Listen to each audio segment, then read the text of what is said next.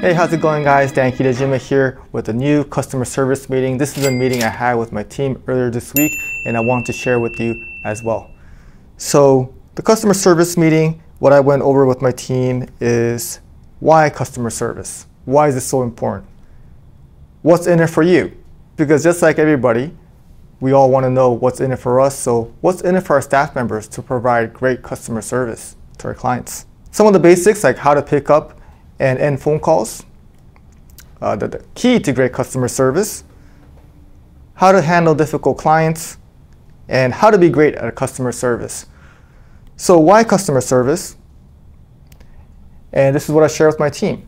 You know, there's a lot of good reasons they gave me, but at the end of the day, I want to make it as simple as possible and it's the reason we all come here every day and gather around as a team. It's because it's how we make money. What it is, it's really our product. So I asked my team, hey, what's something that you buy regularly?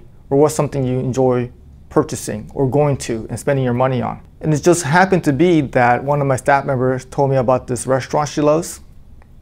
And I said, hey, what's so great about that restaurant? And she told me that it has great soup. So I told them that customer service is our soup. So if you're having a hard time understanding, hey, why is my agency not doing as well? You know, is it the marketing? Is it the sales? Is it the staff? What's the problem here? Well, sometimes we have to look at ourselves and understand and think about how's our soup? Does it even taste good? So customer service is basically the product that we offer to our clients. And if the product is not good, no matter how hard you market it or how good your sales agents are, people are not going to come back to it because I bet that restaurant she was talking about doesn't need to market as much because the soup is so good, people start coming back without even marketing because it's so good. And then the word spreads, word of mouth. They get, well, we call it referrals here, but at a restaurant, friends will tell their friends and they'll get great reviews online and it'll just grow organically. And that's really what we're trying to do here at our insurance agency. And I believe that's the secret to building a monster insurance agency is that you have to have a great product, meaning great customer service where customers will continue to stay. They know what to expect and it's a great product and also they'll tell their friends. So if you can get to that level and with the rate increases, I like to call it that the agency is going to grow organically from within without having to put outside marketing or new business. It's just going to grow because, well, first of all, the rate increases are definitely helping us out right now. And then by referrals. Okay, so if you can grow your agency without having to spend so much money on marketing, that's a great situation you want to be in. Getting your whole team's mindset into customer service is a difficult task. It's definitely a challenge wor worth working on because of how great the payoff of it could be. If we have a great customer service product, then we could charge premium prices. Meaning that the better our service is, the less price is going to matter. So different brands, if they charge a lot of money for a a t-shirt that has a logo on it or a t-shirt without a logo or certain situations where something's going to cost more, for example, insurance, or if you have fees that you could charge on top of it, it justifies those additional costs if you have a great product or if your customer service is great. And we'll talk about what great customer service means a little bit, but I explained to my team, hey, the better we do at customer service, the next time they call and add a 2023 car, the pricing is not going to matter as much because they have all this experience of working with us and they're going to be okay with whatever we charge them and they're going to stay with us because the customer service was so good. And that's just to make our job so much easier because keeping a policy is so much easier than selling a brand new policy. And we rather grow with our, the book of business that we have and keep growing it with, again, the rate increases is certainly going to help. But, and then if you have any broker fees that you're able to charge, you can't really justify charging a lot if your service is not there. But people will pay for value and for uh, consistency. And if you're offering a great enough product, then you're going to feel better about being able to charge a little bit higher premium. And if you're offering certain products that are higher in premium in the market, then that's the only way to differentiate yourself is through the service that you deliver to your clients. All right, and we will get more referrals. Okay, same same thing I was talking about. Growing organically is through referrals. People will talk about you, how great you were, and then that's the best type of leads you could get. I talked about in other videos before, but the closing ratio on referrals are so much higher. That's the situation you want to put your agency in, is where you're keeping your clients, letting those policies grow, and then also having your clients send you referrals. And that's the way to really grow your book of business to a whole nother level. And that's something that's new to me. You know, I think in the past I was thinking about marketing, marketing, marketing, sales, sales, sales, outside sales, bringing in new customers in. And I feel like at a certain point, I'm just working harder, spending money, but not working smarter. And I feel like the mindset of switching the mindset into more customer service and focusing on the product and the customer experience is really a great opportunity that this challenge has brought to us. So what's in it for you? So I'm talking to my staff members here. So one thing I wanted to share with them is that, again, the, the reason we got, show up to work every day is your income. Now, this is a concept that is really important for us to understand.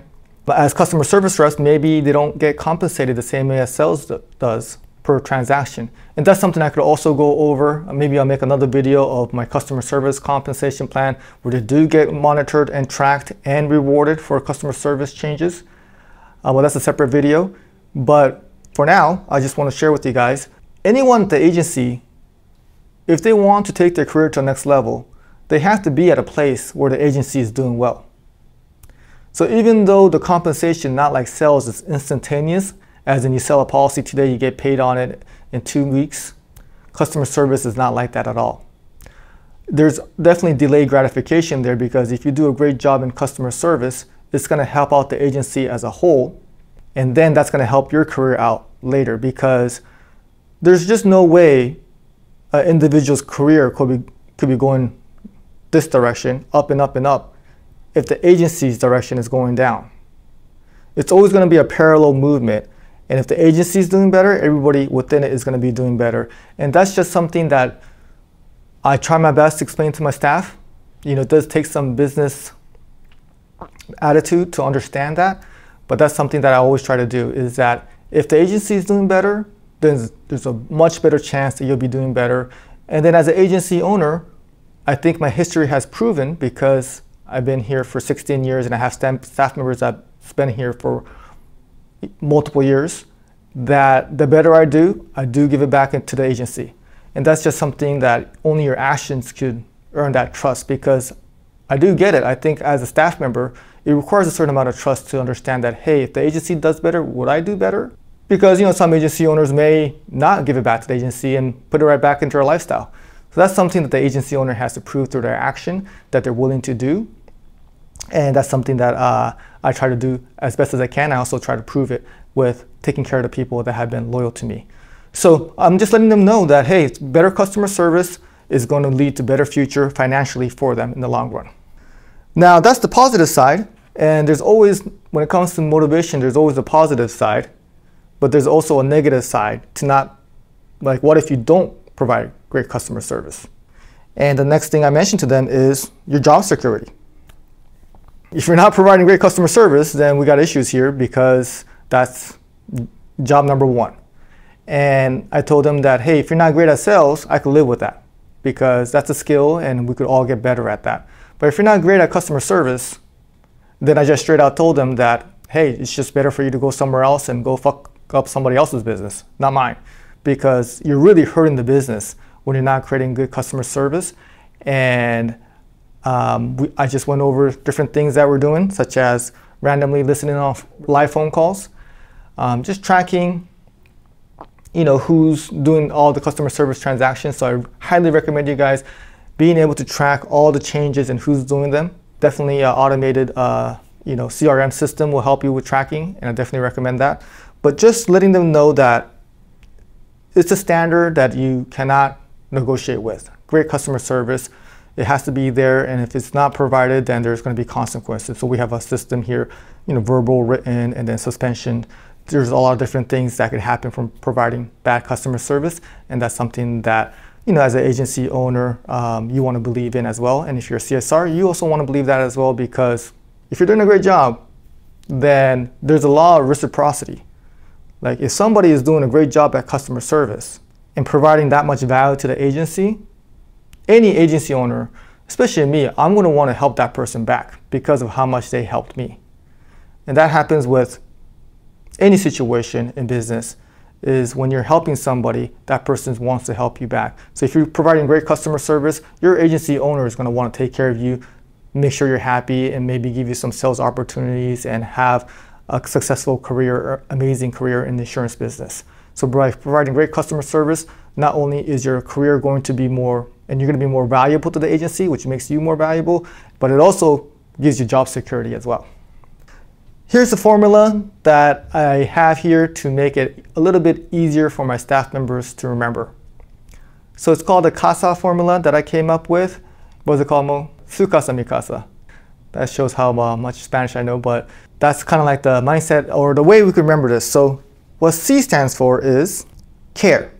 All right, so if you have care, most of your problems are solved there. As long as you care and the client could sense that, then you're gonna be good. You're not going to have customers complain, well, maybe I won't, don't want to get too hard on myself, but if you care, you have a lot of things going for you. You're just going to be a good human being and you're going to try your best for that customer. So rule number one when it comes to providing great customer service is care. The A stands for accuracy.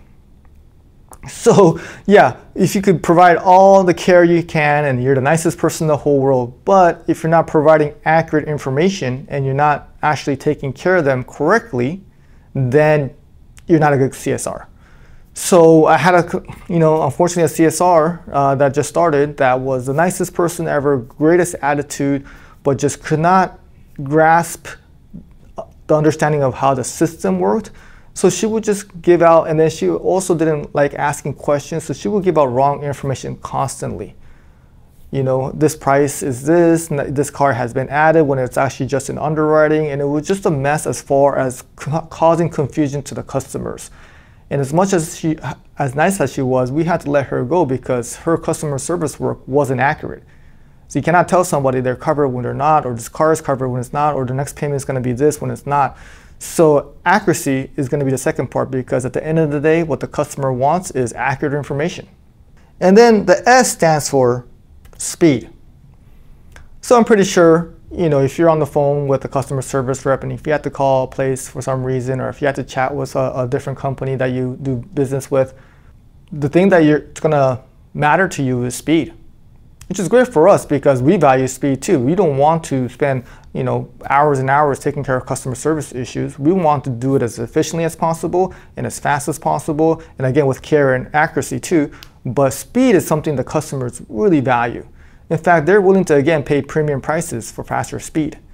So I told my staff members that the, the other thing that you need to always care about is to do things in a speedy fashion because in the world we live in, that's what our customers want. And then the A for the last part of being providing great customer service is actually something that's going to benefit us that some of my customer service reps forget, and that's the ask. Sometimes we do such a great job at customer service, but we forget the last part, which is ask. So if you're doing such a great job, you're giving and you're giving and you're giving, let's not forget to ask. So things that we want to ask for are, hey, who do you have your life insurance with? Hey, do you know anybody else that we could help? So life insurance, homeowners insurance, or any other product you offer, anything other insurance products we could help you out with, asking for referrals. So if you do three out of the four, care, with accuracy, with speed, you're gonna be good. But if you could do the fourth one at the end, ask, then you're truly doing a great job at being a great customer service rep for your insurance agency. All right, so we're gonna get into some of the basics of customer service here, how to pick up phone calls. Now this sounds pretty basic, but it is very important and we do wanna have consistency, meaning everybody in their agency is doing it the same way. So the first step is gonna be a proper greeting. The proper greeting should include a thank you, thank you for calling. For us, would be farmers, thank you for calling farmers. How can we help you today? Okay, and with our system, we are able to find out if they're calling a different language line. So we want to be able to answer it if it's English or Spanish based on the caller ID, it'll tell you. Now it could be an English one, but they may actually be a Spanish speaker because it's customer service. And you also should have a phone system that lets them understand if it's a sales call or a customer service call. So the phones, but the way you answer the phone call should be a proper greeting, meaning you know which language it's in.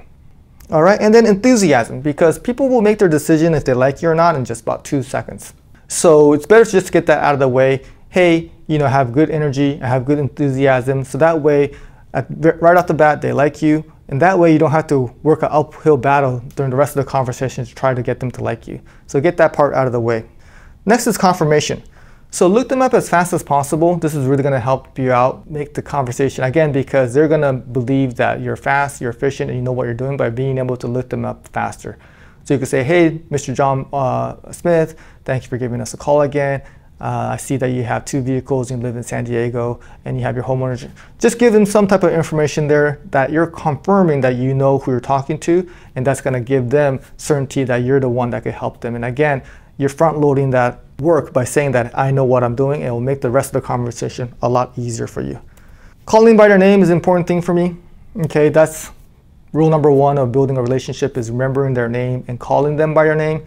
Mr. Smith, if someone's older than you, calling them by their last name and just showing respect and letting them know that you, people like to hear their name, so just give them what they want, call them by their name, and that's gonna make the conversation a lot easier for you too. And then clarification with enthusiasm. So whatever they wanna do, repeat it. Hey, I wanna make a payment. Okay, great, Mr. Smith, I'll be happy to help you make a payment today. I wanna add a car. Okay, Mr. Smith, with enthusiasm too. Perfect. All right, I'll be happy to uh, help you add a vehicle today. I want to know how much it is to add a car. Okay, great, Mr. Smith. I'll be happy to let you uh, find out how much it is to add a car for you. So whatever to say, just repeat it. So again, you're just letting them know that, hey, I understand you. I know what I'm doing. And repeating it is the best way to confirm with them and to clarify what they're calling about and letting them, know that you could help them out in an enthusiastic way. That way, when it comes down to the price, they'll be like, okay, great, let's do it. Okay, Mr. Smith, it's gonna be $200 more to add this car onto your policy. And if everything was going well, they're going to say, all right, perfect. Now, if it wasn't going well, bad attitude, bad tone, bad confirmation, not calling by their name, no clarification, no enthusiasm, eh, all right, it's going to be $200 a month, then they're going to start writing about the price. Why is it so much? And it's not going to be easy for you to make these transactions. And your job, frankly, isn't going to be as easy as it could be, too. Let's go ahead and clarify what they're um, needing help with and let them know that you can help them out with that. How to end phone calls, recap, and gratitude. So at the end of the conversation, let's just say, hey, Mr. Smith, it was great taking care of your payment today. Just recap what you did. It was great adding your car. We, we did these type of coverages, go over everything. Just recap everything you did. Just also helps just for compliance reasons, just to make sure you guys are on the same page. And then obviously ask them, is there anything else I could help you out with? Also thank them so calling them by the name, again, at the end is important too. I tell my staff members that we always want to say their names at least twice. Once in the beginning and once at the end, at the very minimum. That's the minimum. Now, if it's a pretty longer conversation, it's good to sprinkle that in there throughout the conversation. But at the very minimum, we should say at least twice, uh, in the beginning and at the end. Thank them, and then, you know, after asking them, is there anything else I could help you out with? Then ask for something. Ask for a referral. Ask for a life insurance. Uh, who do you have your life insurance with? Ask for something. If they say, uh, no, that's it. That's all I needed. Or if, especially if you, if you sense gratitude from them, hey, thank you so much for helping me, that's the perfect time to ask. But let's not forget that part because you're doing a great job doing customer service. Let's try to get something out of these situations. Let's look at these as opportunities to go over the discounts and add another line of business for them. Uh, you also want to track everything. All right, so tracking is going to be very important because you just cannot improve anything that you're not measuring. So keep tracking who's doing the customer service work and really recognize them and compensate them based on their production. Just like sales, we could track customer service transactions, payments, changes, everything you want, and make sure you're compensating them for those actions. Then audits, always listen on your calls, see who's doing a good job, see if you have any complaints, I think that's the next thing on here. Yeah, see what, what kind of procedure you have for complaints. Your agency does not want to have any complaints. Your agency does not want to have any one-star reviews. It's just something, again, it's your product. If your soup sucks, then there's just no way you're going to have a successful insurance agency. So if someone tells you, hey, your soup tasted horrible today, you want to look into that and see what the problem is. And if there's a lack of training or attitude adjustments necessary, then you want to make sure you're on top of that as far as your agency because that's how important it is. How to handle difficult clients. So at my agency, I want to have my staff members have a good day. There's some customer service jobs out there where they go to the job and they just get yelled at all day long. And I mean, that wouldn't be a great job, you know, and that wouldn't be a sustainable job. And that's exactly what I don't want for my staff members. So here's a system that I have that I teach my staff members to do if they have any type of customers that are angry at them. So first thing to do is have empathy. All right. So no need to get mad back. No need to get defensive. You know, these clients most likely are having a bad day, not due to you, or maybe not even due to the insurance, or maybe just they're just having a bad life. So we just want to feel sorry for them that they have so much anger in their life that has nothing to do with you. So have empathy and really feel bad for them uh, is step number one. Number two is clarify their issues. Because sometimes people are just mad and just rambling and just getting off topic and just going all over the place as far as everything they're unhappy with with their agency. So we want to just make sure we're on the same page with them. Hey, Mr. Smith, so from what I understand, you're upset that this next monthly payment is $500. And from what, from what you calculate, what you think is should be this much. Whatever it is, you know, hey, it sounds like you believe you should have rental car coverage even though you don't. You believe the claims department should pay for it. So you just want to clarify that. And sometimes clarifying it will actually make the client feel like, oh, what I'm asking for is a little unreasonable. Maybe it will, maybe it won't, but once you clarify it, sometimes it'll make them think about it. Yes, that's what I want, and it maybe sink into them that, hey, actually what I'm asking for is not reasonable. And sometimes it is reasonable. But whatever it is, you just want to cut all the BS and, and be on the same page. So this is what you want, correct? In a nice way. Clarify what they want. And then apologize, agree, and thank. So never hurts to apologize. Hey, so sorry about this. And then instead of saying I understand, the best way to get them to not get mad at you is to agree with them. Hey, I agree. You know, insurance costs is getting ridiculous. Or hey, I agree, maybe we should explain that a little bit better. Hopefully the claims department could cover that rental car coverage even though you didn't have it. Hey, I, I agree, you know, insurance is a scam. Whatever they're saying, it could get pretty, you know, outrageous sometimes, but just agree and thank them for the feedback because once you agree with somebody, then there's no uh, argument so there's really no reason for you and that person to get at it. So if you agree with them and also thank them, there's really no way that person could get even further mad at you. And then I will try my best to help you. That's the line right there. I will try my best to help you. The first thing you're doing is letting them understand that there's nothing you can do. You don't have the authority to just waive fees or change the bill. Let me try my best to get a hold of somebody, and you could exaggerate here, that could make an exception just for you. I might have to be on hold for a couple hours, which could be true. I might have to talk to the vice president. I'm going to spend a lot of time for you and see what I could do for you. Okay, so again, you're letting them know you never want to say no, can't do that, sir. That's just the way it is because that's going to lead right into I want to talk to your manager. And here at our agency, we don't have, we never have I want to talk to your manager because we do this regularly. A, when you feel somebody getting angry, you do this early on so it doesn't get escalated. So before you can, once you start sensing that someone's getting mad, or if they're already mad, the first thing we want to do is get them off the phone. I want to work on this for you right now. Oh, I totally agree. This is not right. Let me work on this for you and see, see what I could do for you. I'm going to call them right away. Sometimes they still want to vent, but we're like, okay, got it. No, I'm going to call them right now and see what I could do for you and just try to get them off the phone as soon as possible because the longer you're on the phone with them, the more wrong things you can say and then can get more mad and more mad and more mad. So just get them off the phone and that way they're could vent somewhere else and they could go about the rest of their life and not have to bother you at your job. And then also just uh, again, give them a time frame. Okay, this is going to be very difficult. Okay, Sometimes I even said it myself. I, have been in this business for 16 years and they've never made an exception on this, but I'm going to try my best to see if they can make an exception just for you. So this is going to take a couple days, but I'm definitely going to try my best for you. So that bought you a couple days. Or if it's something easier, you can say, hey, I'm going to work on this right away. I'm going to see if I could waive this fee or give you extension, see what I could do for you, and I'm going to give you a call back as soon as possible. It may take me a day, so if you could give me till tomorrow, 24 hours, I'll give you a call back. That gives them time to settle down, go about their lives, and most of the times insurance is like 0.01% of their lives, so they totally forget about it. Next day you call them back. Sometimes they don't even answer. You leave a voicemail, or you, you do talk to them, but you do need to follow up with them. Okay, so you don't want to say I'm going to work on it and not call them back. Follow up with them, give them a call back, and say, hey, it could be a voicemail, or it could be uh, if a conversation, hopefully, and say, hey, you know, I try my best but they just wouldn't do it for us. Now, when you use the word they wouldn't do it for us, that makes you on their team. And this is what you're trying to do is put them on your team. They just wouldn't do it for us. Like I tried for us. So that way you're not the one saying, no, I can't do this for you. And a lot of times they're just gonna say, even while they're on the phone, the first conversation, they're gonna say, okay, thank you for trying your best. And the second time they may say, thank you for trying your best.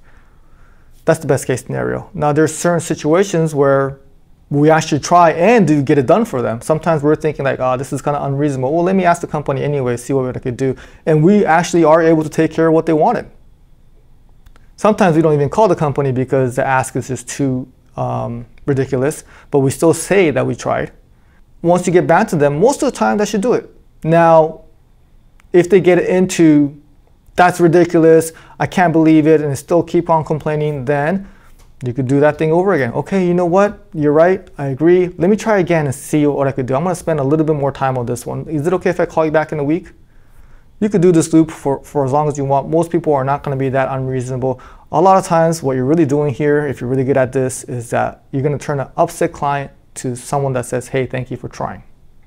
So give that a try, guys, because I don't want you guys to be dealing with angry clients all the time, just tell them you'll try your best and do try your best. Or if you can't, at least tell them you tried your best and they wouldn't do it for us. You're gonna have a much better customer service job. And a couple advanced things that you could go over if necessary, and this is more for maybe managers, getting mad with them. Now I wouldn't do this if you're a rookie, but I've done this plenty of times where someone will say, hey, this person said this and that and that, and I'm really upset because you know that's the wrong information. I will say, hey, I agree. I can't believe she gave you the wrong information. Thank you so much for this feedback because with this info, these are the type of training opportunities that I can improve my operation. So thank you so much. But I cannot believe she said that. I hope it wasn't intentional. And I will still start getting mad myself. Depending on how mad they are, I will get mad with them and I'll say, you know what, after this conversation, I'm gonna have a talk with her right now. I'm gonna have this talk. I am so upset at her. And you know what? I'm considering terminating her. And the clients will sometimes say, whoa, whoa, whoa, whoa, whoa, because sometimes they're searching the story too. They'll start feeling bad about the situation and say, well, you don't have to be that mad. So I had, I've, had, I've had to use that one a few times. Another one I have used is when they do, when you get back with the news that they wouldn't do it for us, you just say they wouldn't do it for us. And I'm so upset because I spent so much time on this and I truly believe that you shouldn't have to pay for the last six months like you said they wouldn't just wouldn't do it for us. I'm so and then as you get riled up, sometimes they'll say like, you know what, don't worry about it, calm down, it's not that big of a deal. So again, this is a little bit more advanced. You can do it if you're in more of a managerial situation, but getting upset with them, don't try it all the time, but you may need to do that at, at, at certain times. And then also, you know, it's important to remember that not all clients are the same.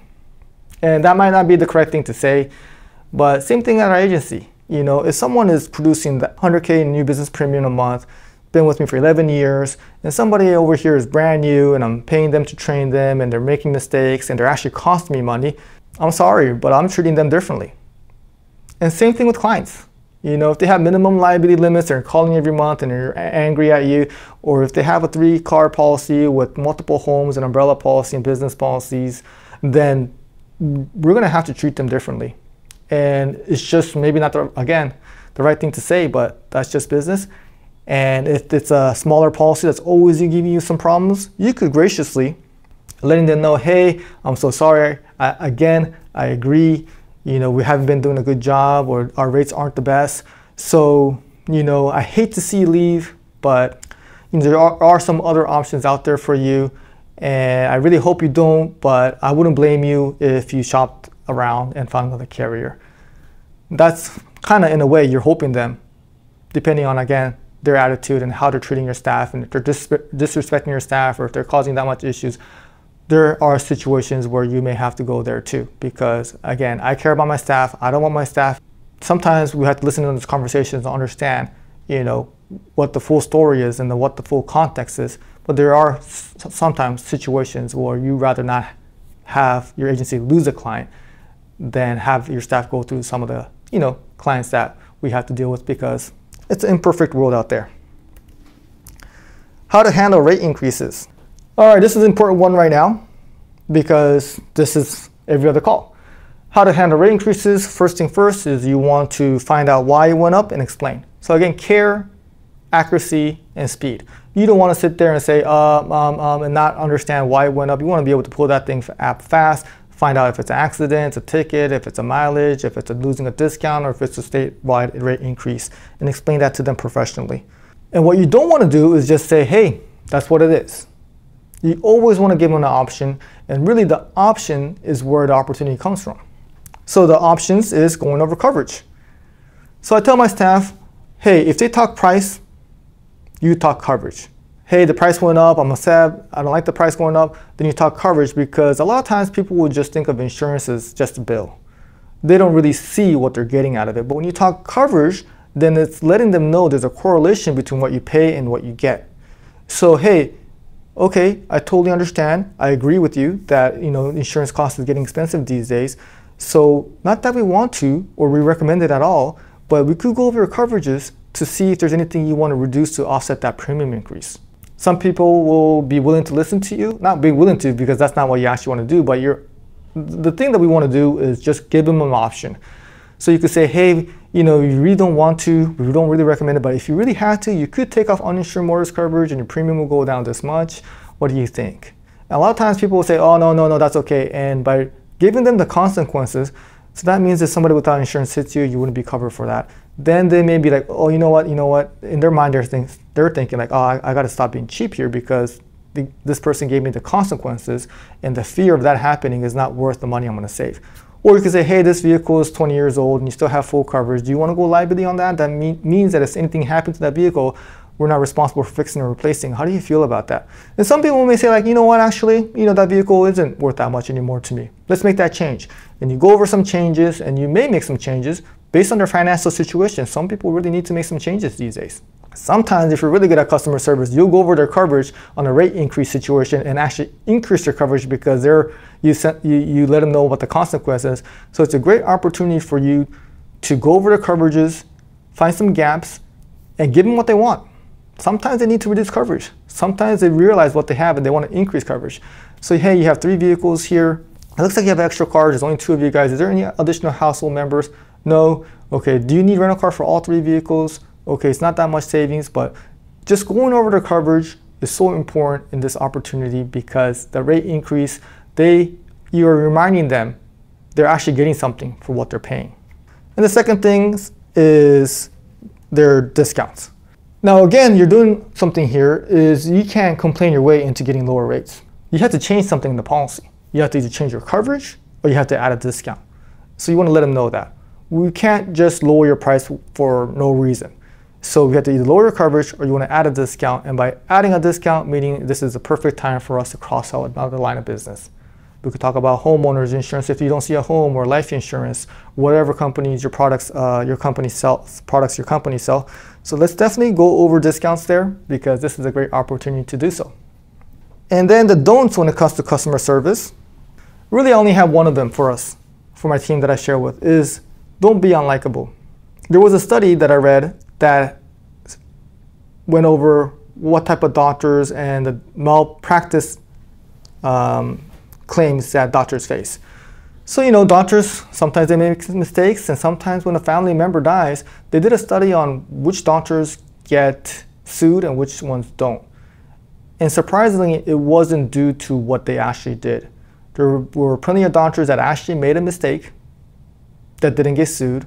There were actually doctors that didn't make a mistake but did get sued. So what the study found out that the only determining factor if they were going to get sued or not was their likability. So I tell my staff, all you got to do is don't be unlikable. If you're likable, then even if you make a mistake, you're going to be able to fix that through showing that you care. And same thing with doctors probably. If as long as they show remorse and they cared and they and the family felt like that was coming from a good place, then you're not going to get those one star reviews or you're not going to get these complaint calls. And as an agency owner, you don't want to have your day filled with news of unhappy customers. So I told my staff, all you gotta do is be likable. And being likable is a skill. And it, it pays off. I told my staff members too, like, hey, if you're likable here, then sometimes you make mistakes, you're not great at certain things. It makes up for a lot of it. And same thing with customers. Um, and people may not may feel like, hey, that's not fair. Like just because this person is likable, then they get better things happening to them as far as career wise. But that's the game. You know, that's like saying like, hey, that's not fair. Like the best basketball player always wins because they're good at basketball. Well, the business game is almost like, well, who's the most likable? So if you're likable, then better things are gonna happen to you because you're bringing value to the agency and you're helping people and you're trying. And that is a true skill when it comes to communication. So within the business or with your clients, I told my staff members being likable is really the key to winning in this business. So that's something that you got to work on. But if you're unlikable, that's when we have issues. So how to be a great customer service rep? Be a long-term thinker. You know, again, customer service, being great at it is not going to help you pay your bills or increase your income instantaneously as like getting a sale. But you got to be a long-term thinker. If you're thinking about committing to your career as an insurance agency at this particular agency or the agency you're working at, then you want that place to succeed. Because again, you cannot have a better financial future if the place you're working at it doesn't have a good financial future. So be a long-term thinker. It's almost like working out. If you work out now, you're not going to get the results right away, but two years later, five years later, it's going to make a huge difference in how you feel and how your body looks. So same thing. You want to be a long-term thinker and not think about just right now. What's easy for me right now? Do the hard work, take care of the customers. If you do a good job with your customers, that customer could either cancel now or stay for another 10 years. And you definitely want to have an agency owner that understands the value of that and sees that and tracks that because I track all the changes and I see things like, wow, this person waived, was able to waive a fee. This person contacted DMV. You show, you get a lot of appreciation by being able to track what each staff member is doing as customer service work. And also by helping out people, you know, sometimes we'll do customer reviews just to see or handle a rate increase customer you want CSRs that want to handle those things because they're thinking in the back of mind, okay, I'm going to take care of them. You know, I had a staff member that just wanted to do a customer review because this person wanted to have wanted to go over all their policy. Perfect. Okay, they increased their personal liability, personal contents coverage on a renter's policy from like 30,000 to 60,000 because they have more stuff now because they have kids. Liability was only 100,000, raised to 300,000. That doesn't make a big difference. Went over their auto insurance and found out that nothing really needs to be changed there. But the whole reason they took their time, explained everything, went through both of their policies is to set up for the ask. Okay, so we're in, responsible for taking care, protecting your family. So what, about your life insurance situation? So even though it didn't work out, the whole conversation was to set up for that ask for that life insurance. So that's another thing. Be a long-term thinker and um, be someone that your future self will thank you for. Be a team player. I think providing customer service is the ultimate sign of being a team player because again, it, sometimes it doesn't help your individual income right now, but it's helping the whole teams. Sometimes we're providing great customer service. Well, you're definitely helping out the agency as a whole, the agency owner. And if the agency owner is not making money, then there's not going to be enough money to pay everybody. But also some of the staff members or the sales agents too, because you're avoiding them from having chargebacks. And just by having a great customer service rep, Besides training, I can't think of anything else that will make you a better teammate than that. You care about the team, you care about the whole, the community, not just you, the company. So by providing great customer service, you become a great team player and an agency owner like me and will really care about great team players because that's what really helps out teams. Finding people that are willing to, I would say sacrifice, but yeah, know your role, and that's why some of the uh, early you know people with earlier experience are start off with customer service because that's how you kind of pay your dues. And if you do really great in customer service, that gives me a sign that hey, you're ready to take the next step and move into sales. All right, be patient and stay ready. And then the last tip on how to be great at customer service is to be a happy person. There's really no way you could take care of others if you're not even taking care of yourself. So we really want to figure out what's making you a happy person or not. Because if you're good, then there's really no, it shouldn't be difficult to provide great customer service because you're just a happy person. So you want to figure out, you know, some of the obvious things that I talk about repeatedly with my staff is make sure you're getting enough sleep, you're eating the right things, because if you're taking care of yourself, self-care on the weekends, getting some sunlight, hanging out with people that makes you feel good, getting rid of toxic relationships, and just making your life as a whole good, then you're to be able to come into work and you're to like people generally and you're to take care of them. But if there's some issues going on inside of you that makes you not happy, then it's to be very difficult to make the other person happy. That's the key to great customer service is figuring out what makes you happy and taking care of yourself first and foremost. And that's going to make you come to work and, and bring value to the rest of the world. And that's how you give and that's how you get back. So I told my staff that, hey, whatever you have to do, this is an internal game. Figure out what makes you happy. Please be happy. Come into work and let's make our clients happy. And that way, it's a win-win for all of us. So that's it, the customer service meeting I had with my team. Hope it helps. Hope you're able to deliver great customer service because remember, it's what you sell. That's the only thing that makes the difference between having a great agency or not. Because if you have great customer service, your client's gonna stay with you. They're gonna keep referring more business with that rate increase, it's going to keep growing and growing and growing. And no matter how much marketing or how great your sales are, if you don't have great customer service, there's only so far as your agency could get to. And I want to go big. I want to build a massive agency. So that's why this meeting was so important. Thank you for watching. Until next time, let's get it.